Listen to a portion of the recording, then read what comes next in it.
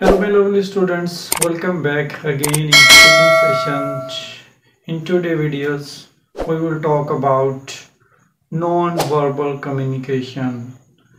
In last lectures, in last videos, we talked about verbal communication and uh, written communication as well as so many other types of communication that is used in your communication skills but today we will talk about non-verbal communication.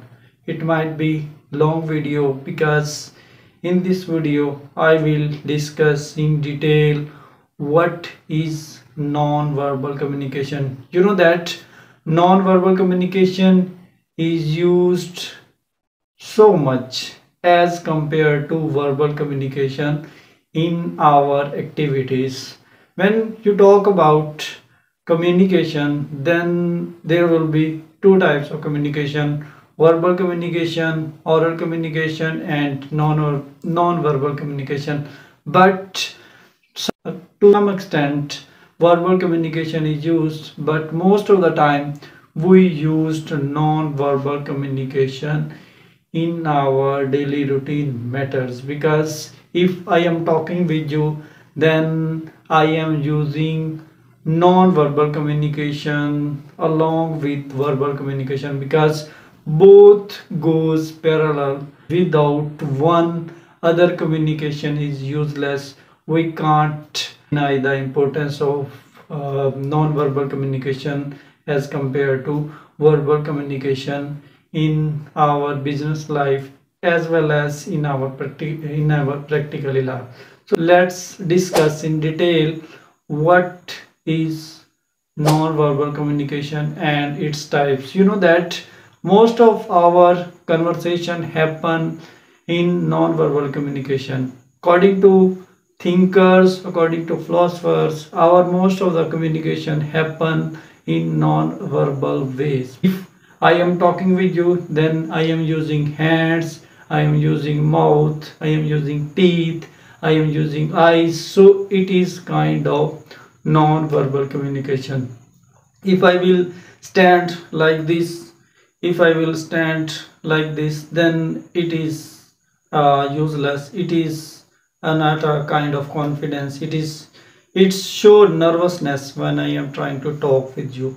So what we have to do we have to use non-verbal communication. If you want show yourself you want you will be uh, aggressive in your speaking in your speech then you should use your body language your gestures your facial expression. These are the part of non-verbal communication. In today's lecture we will talk types of non-verbal communication. When we talk different perspective in our life if we suppose about uh, traffic rules if you are going on the road then you can see that there are many uh, boards there are many traffic signs exist. They show non-verbal cues they show non-verbal communication. Uh, like uh, you can see that when you are going somewhere so there will be arrow. So it is also non-verbal clues. It is also non-verbal communication. Most of the people can't understand it but if you will clearly know about what is non-verbal communication then you can see you can importance you can realize the importance of that signs that are hanging on the walls that are hanging on the roads. So this is a non-verbal cues. This is a non-verbal clues through this you can understand. If driving a car then you can easily uh, judge easily realize the importance of that signs. They are hanging on the wall. They are hanging on the roads. They are hanging on different perspectives. So this is a non-verbal communication.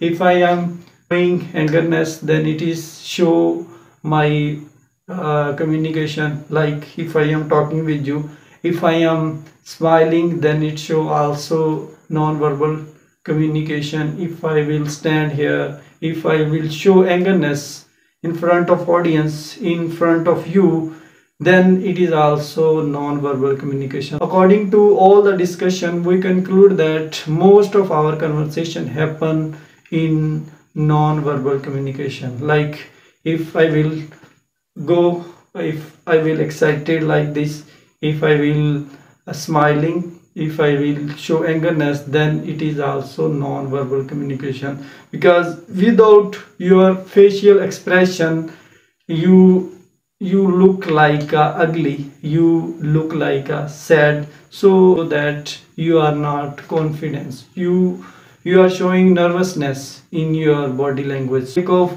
your confidence for the show gaining too much reputation in front of audience when you are delivering any kind of speech then you should use your body language. You should use your hands you should use your eyes you should use your finger you should use your thumb finger hand. So this is also a sign of non-verbal communication. If i will use like this then it is also non-verbal communication.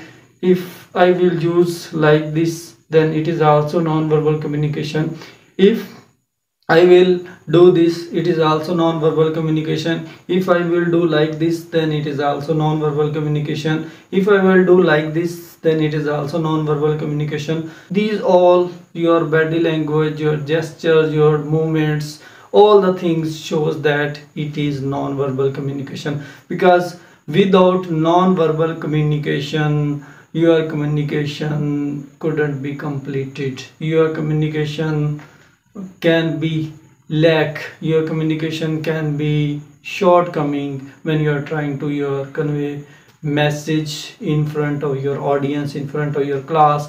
And now let's start. There are different types. So there are many different types of non-verbal communication but i will throw lights on just eight to nine types that can help you in your non-verbal communication. So let's start. First one is chronomics second one is proxemics third is oculics uh, fourth one is olfactics fifth one is haptics sixth one is kinesics seventh one is chromatics and eighth one is silence. So same like this there are many other kinds of non-verbal communication but here just we talk about eight these are very important. Let's start uh, what are the types of non-verbal communication? So first one is chronomics. Chronomics means time. You know that times play a key role in your communication skills. If you will talk someone then definitely time play a key role pivotal role in your conversation.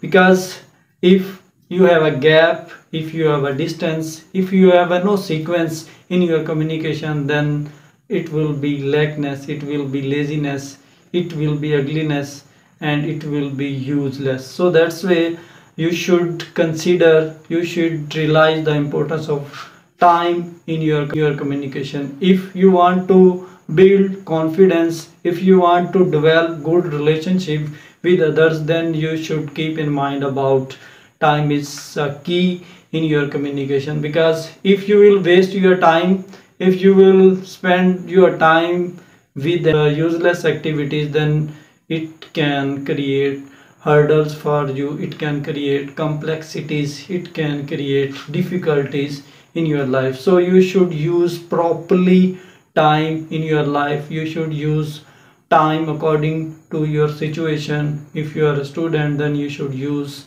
uh, time according to your perspective. So in non-verbal communication times play a very central role. So you should consider the time. And if you will consider that your all gaps will be filled and there will be no gap in your communication. And if you will waste your time you can lose so many moments. And second one is proxemics proxemics means silence and space. Silence and space it is very important in your communication skills. When two persons sitting together but uh, they have some kind of gap they are showing angerness with each other so it shows that they have a no good relationship with each other. So it is also shows that your non-verbal communication and uh, when we talk about space when i am standing here and all the audience are listening me so there will be a space between them. There will be a space between me and other people. They are standing or sitting in front of me. So it is also show non-verbal communication and you should consider it you should realize it and you should kept in mind when you are trying to convey your message when you are trying to delivering your speech when you are giving to your presentation then you should consider the time when you should consider the space sequence and silence. It is also important in your communication. If you are sitting uh, with someone it show that you have a good relationship with someone. If you have a silence on some occasion so it is also show your non-verbal communication. Might be uh, you have some problems might be you have some happiness. So that's way you are uh, sitting there and you are showing this kind of attitude uh, in front of your friends in front of your colleagues. So you should consider that uh, time is also important for your non-verbal communication and sequence time and uh, all the other things are the part of your uh, non-verbal communication. Time sequence and silence these all are the non-verbal communication. One is oculus oculus means uh, it's your facial expression. It can be your gaze it can, it can be your eye contact. Like if you are standing somewhere if you are speaking somewhere if you will show your eye contact then it is also type of non-verbal communication. If your eye contact will not be good it show that you have no such kind of confidence. You have no such kind of confidence about your topics about your delivering message about your information that you want to convey to others. So it is also a non-verbal of communication. When you are trying to deliver your message when you are trying when you are trying to send a message to anybody and it can uh, help you in your feedback. Your feedback can be good if your non-verbal communication will be good. So for the gaining information for building your confidence for boosting your confidence your eye contact should be good. If your eye contact should be good it show your confidence it show your fluency in your speaking it show your uh, happiness. So sometime uh, your facial expression show that what kind of situation you have what kind what kind of mentality you have what kind of thinking you have what kind of ideas you have you want to deliver. So it is also type of non-verbal communication. For the sake of gaining information about non-verbal communication your eye contact should be good. Uh, you should look your audience in smiling way. You should talk with your audience with your friends in smiling way. It show that you are uh, in good mood. You are in a happy mood and you are uh, so confident about your presentation or your speech that you want to deliver with someone. So it is also kind of non-verbal communication. It shows your happiness. It show your angerness. It show all the uh, expression that are in your eyes that are in your body language. So it is also kind of non-verbal communication. Fourth one is olfactics. Olfactics means uh, it show that your smell your odor your laziness show that your habits it show your manners it shows your like if you are eating something then it show that your non-verbal communication. Like if you are saying something if you are touching something uh, if you are smelling something then you can easily uh, judge uh, what is it is beautiful it is ugly it is bad it is good. So it is also show your non-verbal communication.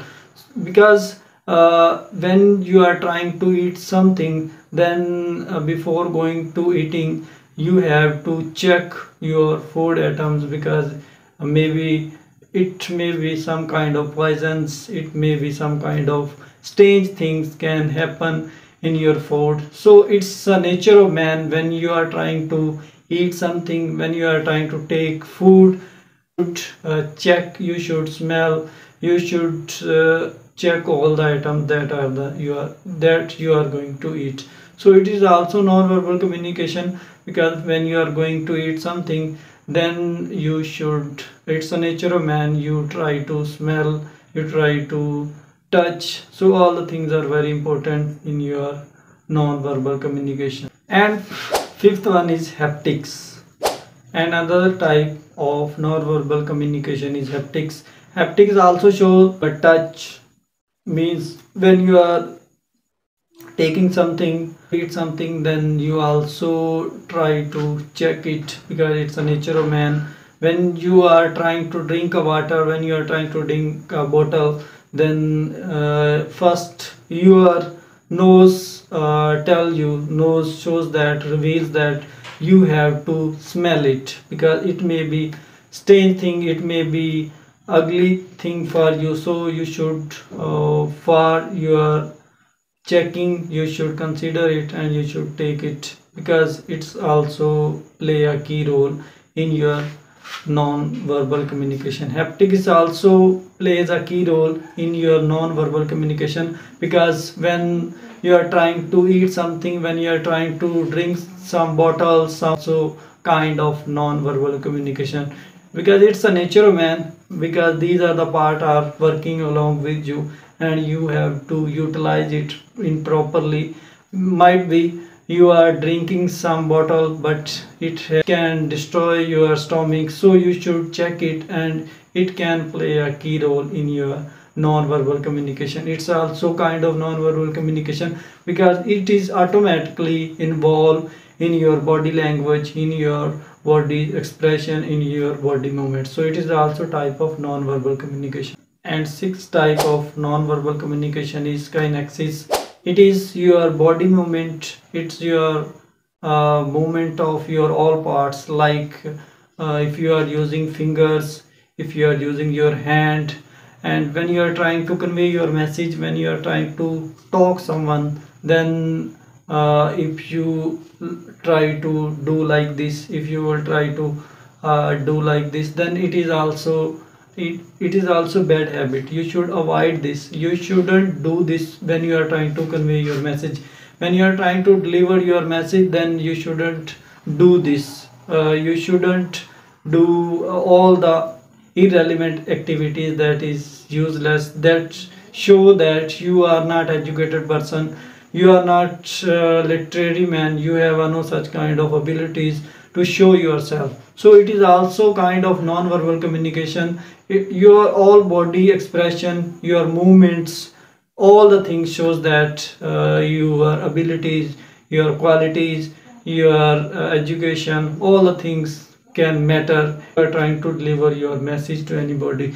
So it is also non-verbal communication because if you will not use your hand your finger your thumb your eyes and your body uh, expression your body movements then it is uh, not uh, like a, a non-verbal communication. But if you will use properly if you will use properly gestures in your conversation then it show your confidence it show your um, literacy it show your knowledge it show your information and it show that you are fully confident about your speech about your message you want to deliver someone. So it is also kind of non-verbal communication. You you should consider that uh, about your body language when you are trying to deliver message when you are trying to deliver your message to someone. If you are going to deliver your speech then you should uh, care about you should keep in mind about your body language about your gestures about your body movements. So these are the part of your non-verbal communication. The main type of non-verbal communication is uh, paralanguage. Paralanguage means uh, it's your body movements uh, it's your sound it's your voice and it's your it show your communication. If your communication will be good you can confidently convey your message to someone. And uh, ninth one is your appearance. Your appearance shows your confidence if your appearance will be good if your appearance will be in a properly manner then you are you are showing you are fully confident about your speech about your message about your delivering uh, some kind of topic to anybody. So you should consider that you should uh, take into consideration when you are trying to deliver message to someone you should be realize about the importance of appearance. Your appearance show that what kind of abilities you have what kind of confidence you have and what kind of knowledge you have. And your facial expression uh, your body your hands shows that your personality because personality plays a key role in your communication in your non-verbal communication. If you will not properly set yourself if you uh, your dress your tie uh, all the things uh, if you will not check it if you will not consider it then it shows that you are not fully confident. It shows your nervousness. So, so when you are trying to deliver your message when you are going to deliver a speech then you should realize the importance of uh, your appearance. Appearance plays a central role in your non-verbal communication. And last one is silence. Silence is also show your communication. Sometimes you are not speaking uh, you are not uttering some kind of words. It doesn't means you are not uh, communicating to someone. It shows that you are uh, delivering your message. You are showing it show that you are delivering your message. You are sitting in the company of somebody you are sitting uh, in the gathering of your friends. You are you are showing your silence. It doesn't mean you show your anger you show your happiness. Sometimes other person are speaking you are listening. So it is also show your non-verbal communication because silence also uh, play a key role in your non-verbal communication so according to the all discussion we conclude that to sum up all the discussion so all the points we discuss in this video that are helpful in your non-verbal communication. Because if your non-verbal communication will be good it show your confidence it show your abilities it show your education it show your uh, authenticity in front of audience.